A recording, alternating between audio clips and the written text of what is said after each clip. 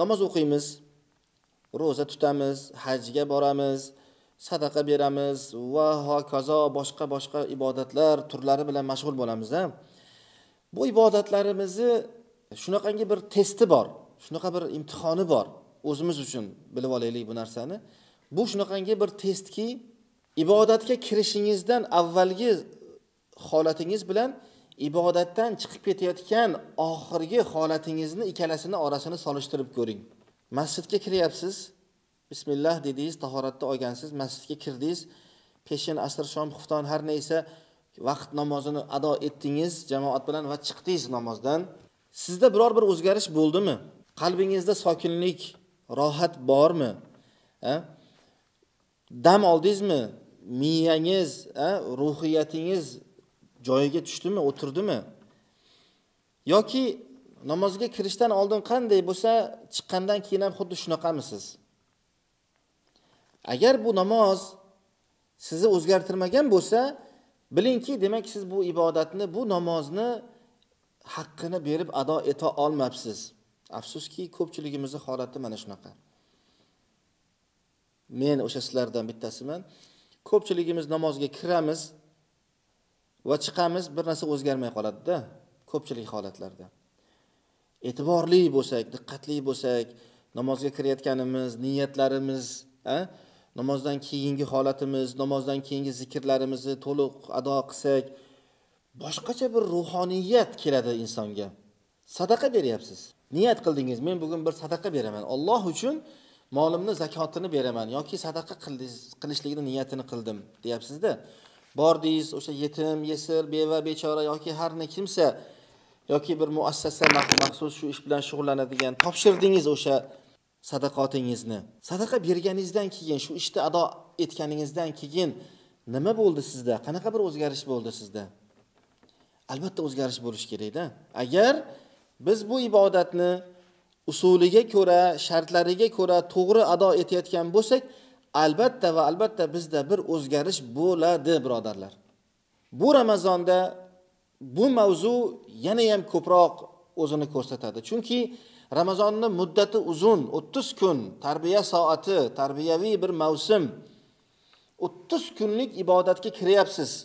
O'ttiz kun davomida balki yigirma to'qqiz kun yoki o'ttiz kun davomida siz odatlaringizni o'zgartiryapsiz.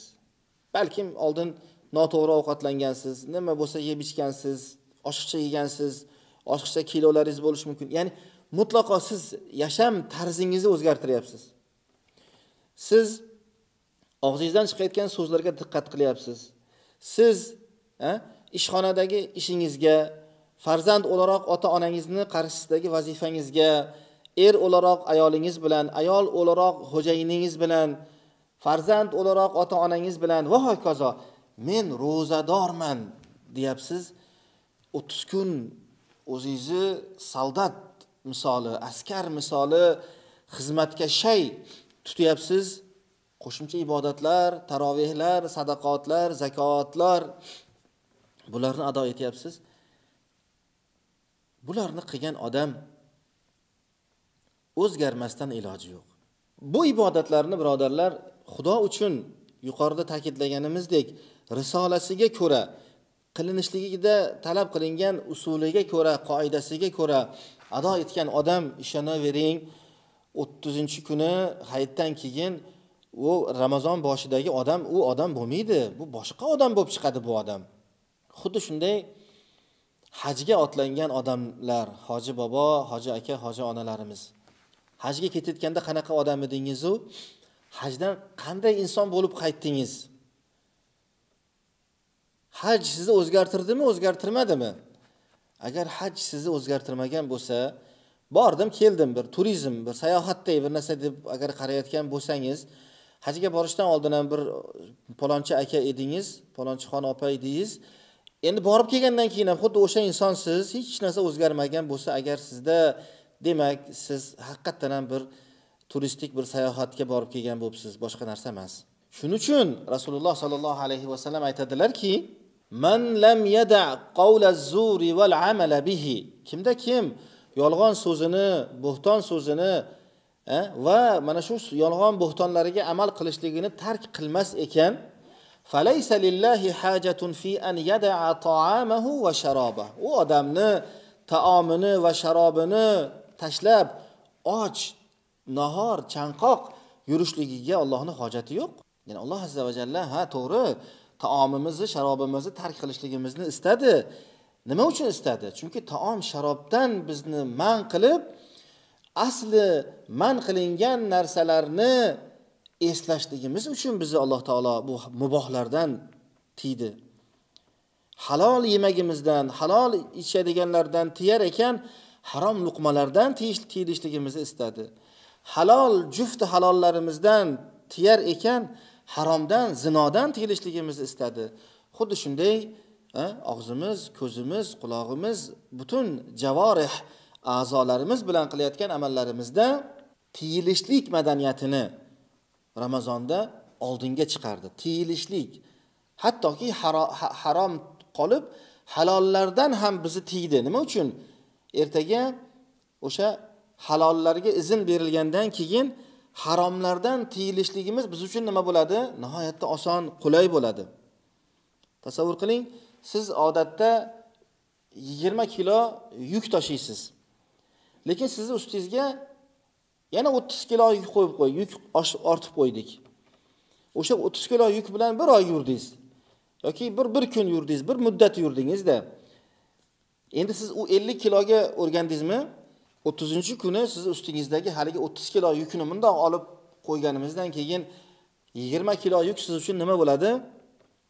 yigirma kilo yuk siz uchun o'yinchoq bo'lib qoladi ya'ni judayam yengil narsa bo'lib qoladi. His qilmaysiz uni og'irligini to'g'rimi yo'qmi agar siz bu o'ttiz kun davomida mana shu o'ttiz kilo oshiqcha yukni haqiqiy ma'noda tashigan bo'lsangiz siz tashiyapman desangizu lekin uni odamlarni ko'zini oldida gapirgan bilan asli ichingizda haqiqatingizda u o'ttiz kilo yukni bir chekkaga olib qo'yib qo'ygan bo'lsangiz albatta bu foyda bo'lmaydi. Sizdagi u muskullar u bada badan e, chiniqishligi u darajada kuchaymaydi. Va, va, va natijada ramazonni oxirida sizda o'zgarish bo'lmaydi. Siz yana o'sha ramazon avvalidagi qanaqa odam bo'lsangiz ramazon so'ngida ham xuddi shunaqa odam bo'lib qolaverasiz. Yaqinda buyuk ustozlarimizdan birlari musofir mehmon bo'ldilar registon studiyasida. Va ajoyib bir hikoya aytib berdilar.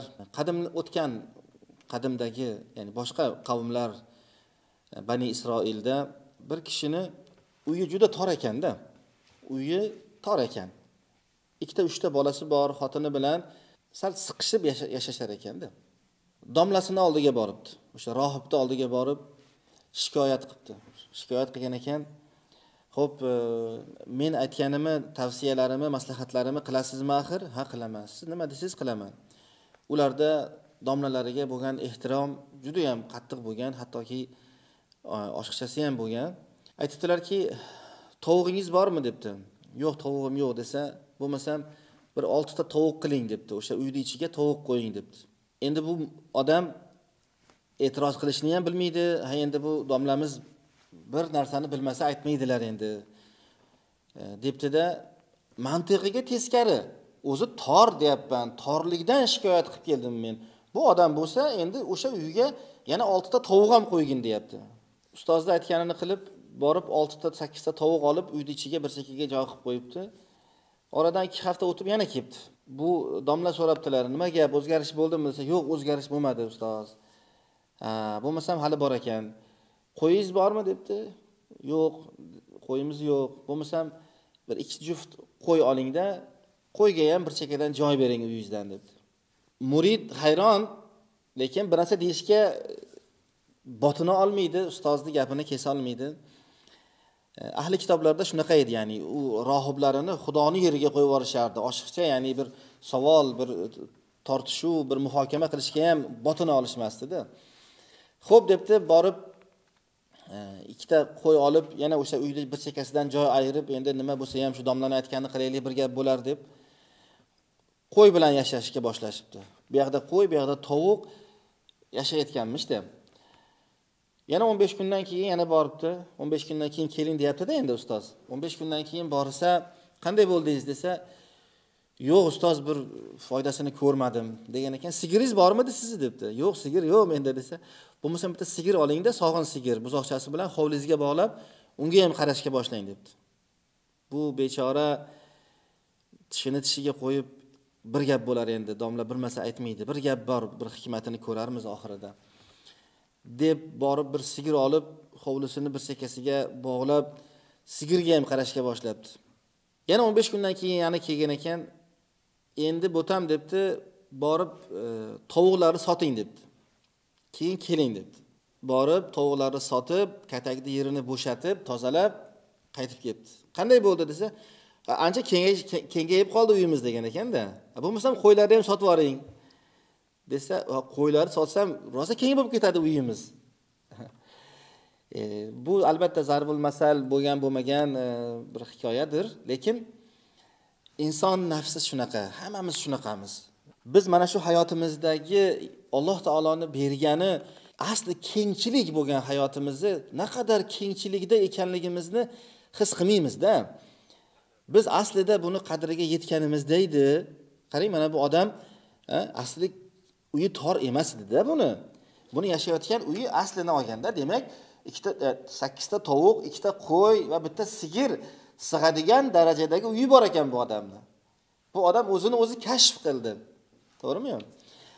E, ramazon e, va boshqa ibodatlardagi bizni o'sha mavsumlardagi ustimizga qo'yiladigan bizga qo'shimcha beriladigan ibodatlar yuk demaylik a o'sha qo'shimcha ibodatlar bizni aslida qanchalar imkoniyatimiz keng ekanligini ko'rsatib beradida. Demak azizlar ramazon bu o'zgarishligimiz uchun boshqa ibodatlarda bo'lgani kabi xususan ramazon e, katta bir fursat. Chunki ramazon namozni ham o'zini ichiga olgan. Ramazon sadaqotni o'z ichiga olgan. Ramazon mehribonchilik ramazon shirin so'zlik ramazon yaxshi gap ramazon yaxshi ko'z yaxshi so'z yaxshi quloq yaxshi amal. Ya'ni barcha yaxshiliklarni ramazon talab qiladi. Bularsiz ramazondagi ro'zangiz mukammal bo'lmaydi.